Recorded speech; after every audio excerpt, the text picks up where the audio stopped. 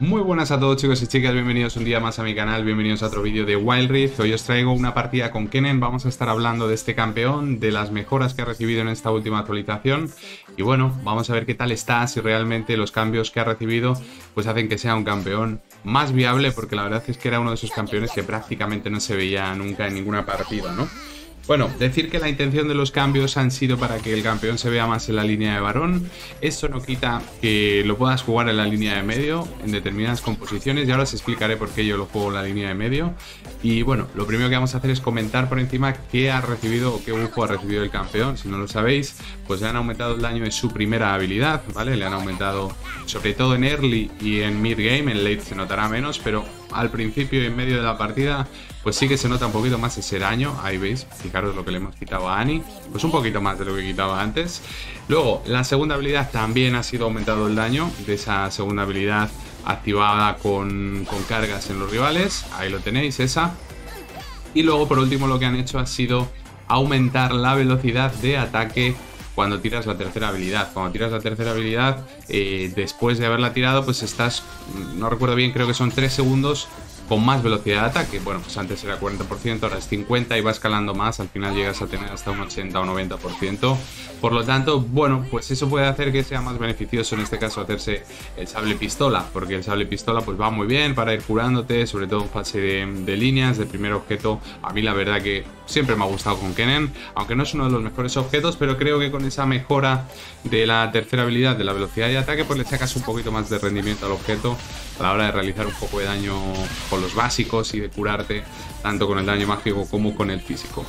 Eh, ¿Cuándo jugar Kennen? Bueno, esto no cambia, ¿no? Al final los cambios que han hecho tampoco son tan grandes, pero lo ideal es jugar a este campeón cuando tienes un equipo de Haren Gates, un equipo que pueda entrar con todo. En este caso tenemos una lista de un Wukong, entonces creo que es una partida perfecta para jugar Kennen, porque ya sea Wukong o ya sea Alistar, hacen el engage, les stunean y nos va a dar tiempo perfectamente con tercera habilidad para llegar o incluso con flash y tirar nuestra ultimate y realizar la máxima cantidad de daño. Eh, al final Kennen es un campeón que si pilla kills, incluso antes, si le iba bien en fase de líneas, pues al final pues es entrar, apretas la ultimate y a pegar, ¿no? Eh, básicamente un campeón de teamfight.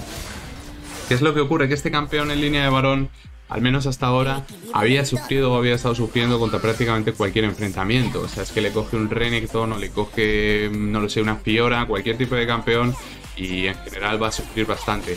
Porque no tenía suficiente daño como para hacer intercambios y, luego pues la ulti es una ulti grupal que donde le sacas beneficios en fase de equipos. No es una ulti buena para fase de líneas. Entonces, bueno, yo creo que con estos cambios podemos hacer que el campeón se vea un poco más. Sin embargo, yo sigo pensando que no sé si será suficiente, al menos para jugarlo en medio, con una composición como la que estamos jugando en esta partida. Sí que es más viable, sí que va a ser mucho mejor opción, pero en línea de varón, sinceramente, hay que seguir probándolo, todavía voy a tener mis dudas. Pero bueno, en línea de medio sí funciona. ¿Por qué? Bueno, pues porque podemos rotar, estamos siempre en, combinación con el jungla, podemos rotar objetivos y fijaros aquí, utilizamos nuestra primera ultimate, nos llevamos a la kill de Panteón. Fijaros, Annie estaba a un toque, pero muy bien Leona metiéndonos la ulti en la cabeza y la tercera habilidad y acabamos muriendo también. Una pena, porque si hubieran guardado esa ulti a que llegaran todos los rivales, pues a lo mejor habría hecho más daño. Pero bueno, con esa ulti habíamos acabado con la vida de... de creo que había sido Pantheon, si no me equivoco, de su jungla. Así que bueno, no está tan mal. Eh, tema de la build, yo la verdad es que a mí me gusta hacerme el sable pistola. Después de sable pistola me gusta también hacerme el orbe para tener esos críticos con daño mágico. Al final en teamfight soltamos muchas habilidades y tener la posibilidad de que algunos impactos de la ulti o, de cualquier tipo de habilidad pues sean críticos pues va a aumentar el, plus de daño que realizamos. Después obviamente sombrero y bueno Liandry no es una mala opción pero también el cortacuras es muy buena opción si tienen equipos, si tienes rivales en contra que que se curen bastante, como en este caso no hay rivales que curen o que se curen demasiado, pues el cortacura no es tan necesario. Así que optaremos por otro tipo de, de build, ¿no? Eh, ¿Qué es lo que tiene? Pues es esto, ¿no? Tiene buen toneo. Eh, y más con el sable pistola, pues aunque recibas daño en intercambios, pues al final si no son muy. si no es un all-in, si no te entran con todo, pues vas a tener bastante supervivencia con el campeón. Y aquí nos conseguimos llevar el dragón infernal. Ahora vamos a ir a limpiar esa wave de medio está impactando en torre. y seguimos. Hay muchos cambios en, este parche que tengo ganas de probar. Obviamente os traeré vídeo jugando con, con Axan, a ver qué tal, porque realmente, bueno, no sé si lo comenté en, en vídeos anteriores, pero el anterior bufo que le habían hecho a Axan, básicamente mm, era para que no gastara tanto maná, porque realmente el aumento de daño que le habían hecho era realmente muy muy poco, ¿no? Creo que era en el escalado y al final, en, el final de partida su daño aumentaba, no sé si era como 13 puntos o algo así, o sea, era meramente anecdótico, el daño del campeón seguía estando igual, lo que sí que se notó mucho en el anterior bufo de Axan, por ejemplo, fue pues lo del maná, ¿no? Y ahora sí que tengo curiosidad por ver todo lo que le han hecho, pero bueno, eso será en otro vídeo. Y, también hablaremos de Soraka. Bueno, de Soraka no sé si subiré vídeo porque básicamente lo que han hecho ha sido reducir la duración del rejuvenecimiento. El rejuvenecimiento es esa pasiva que se te activaba cuando golpeabas con la primera habilidad. Por lo tanto, vas a tener mm, menos tiempo para poder tirar curaciones con rejuvenecimiento activo y por lo tanto eh, no vas a poder meter dos o tres curas seguidas sin que te baje prácticamente la vida, ¿no? Que es como estaba Soraka y por eso decía que Soraka estaba en meta y era una muy buena opción para jugar de support. Bueno, pues tanto es así que se han dado cuenta de que se han pasado en el bufo y la han nerfeado rápidamente, ¿no? Ha durado poco, pero bueno, yo os avisé, si eres jugador de Soraka o te gusta el campeón, aprovecha porque estaba muy fuerte, ¿no? Algunos me llamaban loco, decían que no, pero la realidad es que al final este nerfeo al rejuvenecimiento me ha, me ha dado la razón, ¿no? Bueno, fijaros, también que mola mucho para eso, ¿no? Hacer rotaciones rápidas a otras líneas eh, y con herramientas de movilidad como el flash y la tercera, pues enseguida eh, te plantas con la posibilidad de matar a, alguien, ¿no? Otra cosa que mola también mucho de Kennen, eh, gracias a esa tercera habilidad, pues es un campeón con el que puedes vaquear más a menudo que con otros, ¿no? Porque dices, bueno, me vaqueo rápidamente con el bonus de velocidad de movimiento de volver de base, más la tercera habilidad, es que en muy poquito tiempo he hecho un back y, recupero mi posición, ¿no? Eso es algo que mola también de Kennen. Bueno, pasa también con campeones como, como Kaisa o campeones que tengan típicas skills que te dan un poquito de plus de velocidad de movimiento, pues siempre va a ser beneficioso a la hora de hacer backs rápidos y que tu equipo no se meta en líos mientras te has ido. Vale, vamos a optar por hacernos el Zonya. Realmente hacerte el Zonya tan rápido pues quizás te, te ralentiza un poco el escalado. Mm, no vas a pegar tanto, porque obviamente estás invirtiendo una gran cantidad de oro en, reducción de enfriamiento y en ese ya en ese activable que te salve la vida. Pero bueno, te puede, te puede marcar la diferencia entre sobrevivir o morir en alguna teamfight. Y fijaros aquí a esta rotación. Entramos con la ulti, es una buena ulti. León acaba cayendo. Nos ponemos a perseguir a Annie, que también acaba cayendo. Y Wukong mataba también a Kaisa. ¡Buah! Perfecta. Sí que es cierto que no tenemos grandes objetivos para sacar, pero bueno, son, son kills, es oro que, sacamos. Y posibilidad de intentar tocar alguna torre, rascar alguna plaquita. A lo mejor en bot yo creo que Draven y Alistar van a poder sacar algo.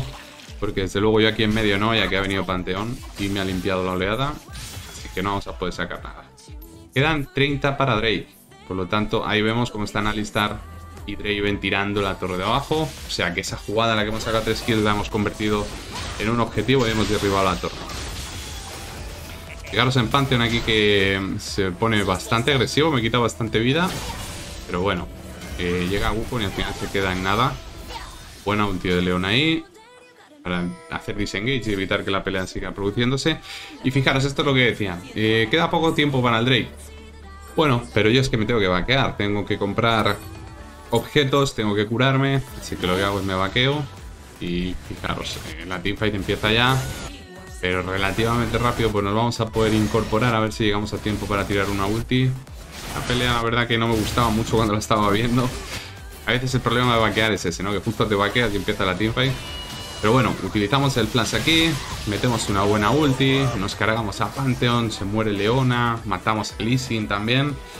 Y al final, pues perfecto, ¿no? Esto nos va a garantizar poder hacernos este dragón prácticamente sin problemas y sin resistencia a los rivales. Nos ponemos 4-1-6 y cogemos una ventaja bastante importante. Ahora, pues bueno, el siguiente objetivo debería ser intentar llevarnos esa torre de medio. Pero de momento como no hay oleada, pues lo que vamos a hacer es vaquear y no perder tiempo, aprovechar, pues bueno, pues nos compramos otro objetito Y vamos a llegar a tiempo a la línea de medio otra vez prácticamente cuando la oleada se estampe en la zona central del mapa. Y pues bueno, es que no había mucho que hacer, no había objetivos que sacar, la torre medio no la podíamos tirar, así que lo mejor a veces es paqueas, te compras un objeto por poco que sea, haces reset y a por lo siguiente, ¿no? Fijaros, aquí vemos que están entrando a Draven, se lo van a cargar, aprovechamos y hacemos rotación a Listar y yo, también está llegando Sin, viene Annie, cuidado con esta pelea, ¿eh? Yo aún tengo ulti, Obviamente solo para Leona no la quiero tirar. ¿Y qué ocurre? Pues que me meten una cadena de CC que me voy al pozo sin haber tirado la ulti. Claro, que mete un stun Leona. Bueno, Leona me ha metido tres stuns, luego ha llegado Annie, ha stuneado también y no me he podido mover, ¿no? Así que quizás ahí debería haber tirado la ulti antes y haber tirado el Zonja. Pero, pero bueno, pues no pensaba que me fueran a meter esa cadena de CC, esa cadena de stuns y no dejarme ni tirar ni ulti, ni tonja, ni nada, ¿no? Hay que tener cuidado también con eso cuando juegas Kennen, porque muchas veces dices, bueno, voy a guardar la ulti un poquito para intentar pegarle a más gente y luego lo que pasa es que te acaba matando y te quedas con cara de tonto sin haberla tirado, sin zonja y los rivales pues acaban sacando ahí una jugada bastante buena para ellos, aunque sí que es cierto que vacían objetivos porque no han podido sacar nada. Y veíamos cómo Alistar se quedaba un poco parado, lo mataban cuando yo creo que se podía haber escapado, incluso podía haberse dado la vuelta a Annie en torre y haberle tirado eh, primera y segunda habilidad y haberla incluso matado con la ayuda de la torre. Pero bueno, igual ha tenido algún problema de conexión porque ya al principio de la partida Alistar se veía como se desconectaba y reconectaba. Así que igual ha tenido algún problema ahí también. Y bueno, veo que este buffo está aquí sin hacer. Realmente a mí el buffo azul pues no es que me beneficie demasiado. Pero bueno, ese pequeño plus de regeneración de vida pues le vale bien, le, vale a todo el mundo. Así que bueno, para que esté ahí sin hacerse, pues un poquito más de oro y experiencia. Y ese buffo de regeneración que me llevo yo. Y nada, ahora lo que nos interesaría pues sería intentar forzar otra buena teamfight, ¿no? Una buena teamfight con un engage de Alistar, con un engage de Wukong. Nosotros haciendo daño también. A ver si conseguimos el momento perfecto de que eso ocurra. Ahí tenemos el engage. Nosotros llegamos, pero bueno, ya prácticamente vamos un poquito tarde. Fijaros que tiramos la ulti. No vamos a llegar a nadie. Pero sí que es verdad que acaba muriendo Leona. Pantheon aquí, que es el siguiente focus. Yo creo que va a acabar cayendo también, exactamente. Bueno, no ha sido un combo muy bueno por mi parte, pero, pero bueno. Eh, han muerto tres rivales y probablemente tengamos oportunidad aquí de tirar la torre de medio. Vamos a ver qué pasa. Alistair que empuja hacia afuera a Kaisa. Y bueno, la verdad que llega ya Sin, nosotros estamos todos bastante tocados. Es un poquito arriesgado seguir aquí, así que lo mejor va a seguir a base. Esperar a tener otra vez combinación de ultis, combo de ultis. Teniendo en cuenta que el dragón debe de quedarle aproximadamente 30 segundillos para que salga. Ahí lo vemos, 25. Pues nada, mejor es resetear compramos y, intentamos algo, ¿no? En este siguiente objetivo. A partir hasta este punto que, bueno, sí que llevamos un poco de ventaja en cuanto a kills, nos hemos llevado dos Drakes, pero los rivales siguen vivos, ¿no? Siguen peleando y una buena teamfight por parte de ellos podría poner las cosas muy complicadas. Así que hay que intentar tener cabeza, hacer las cosas bien y no tener prisa. Yo me vengo a la línea de medio, estoy obligado a limpiar porque hay una doble ballesta y estaban y puseando. Y obviamente no podíamos dejar eso así antes de que saliera dragón. Incluso, yo siempre lo digo, es muy importante si puedes limpiar. A ver. Que no me acuerdo muy bien qué pasaba aquí. Nada, nos hemos hecho dragón fácilmente. Los rivales apenas lo han disputado. Y bueno, pues Alistar intentaba ahí otro engage con el Protobel y, y la carga. La verdad que le da muy bien, ¿eh? El Protobel, el Protocinturón a Alistar. Porque ganas un plus más de, de movilidad, ¿no? Y si tienes Plus ya encima, pues Protobel, eh, segunda habilidad primera. Es que no hay nada casi que pueda parar ese combo, ¿no? Pero bueno, había gastado eso. Aquí la verdad es que hay que tener cuidado porque tienen Leona, te mete una ulti, luego Annie con la ulti, con la ulti y la pasiva cargada. Teníamos que tener mucho cuidado y esperar siempre, siempre a que Alistar hiciera un buen engage. O uh, con su defecto, ¿no? Pero preferiblemente Alistar por las herramientas para llegar que estamos comentando. Así que de momento eso no va a ocurrir.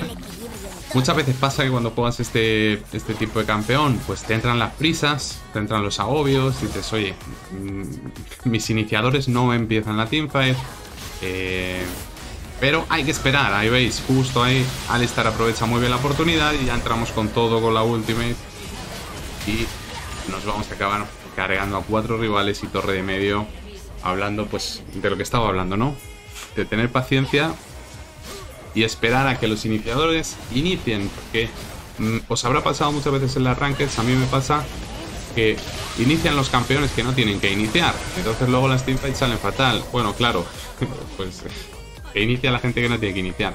Si en esta composición me diera a mí por iniciar, pues bueno, a lo mejor no saldría mal del todo si luego llega mi equipo rápido, pero el combo va a ser mucho más efectivo si inicia Alistar y luego, y luego caigo yo encima.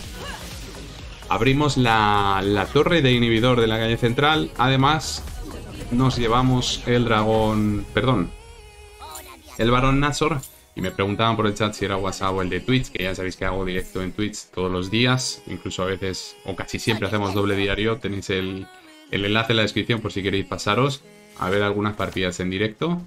Y oye, otra cosa, por cierto, que nunca lo digo, pero hay un montón de gente que ve mis vídeos que no está suscrita al canal. Como un 65% de gente, así que si te gusta el contenido y quieres ayudarme, te agradecería que dejaras un buen like al vídeo y te suscribieras para no perderte ningún tipo de vídeo y apoyar el contenido y el canal, ¿vale? Eh, por cierto, eh, tenemos a Alistar saludándoos a todos vosotros. Hello YouTube. Pues ahí está, saludito. Otra ulti, otro pedazo de combo. Nos cargamos a Pantheon, muere Leona, muere Annie.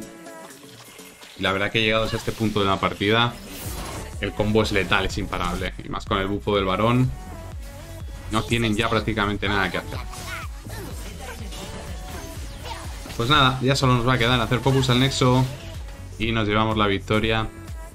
Mm, cosas que he notado. He notado el plus de daño de la Q. Se nota un poco, sobre todo en la fase de early, de los primeros minutos en fase de líneas.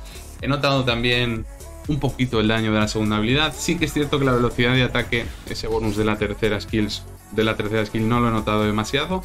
Pero se siente cómodo jugar a Kennen en medio siempre y cuando tenga sentido dentro de la composición que eliges. Así que bueno, nos llevamos ahí esa calificación de S con 22.000 de daño y esto ha sido todo probando al Kennen después del bufo.